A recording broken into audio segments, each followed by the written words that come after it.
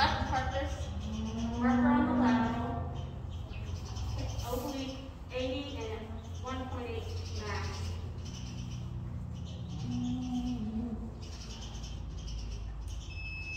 All right, let's see what we got.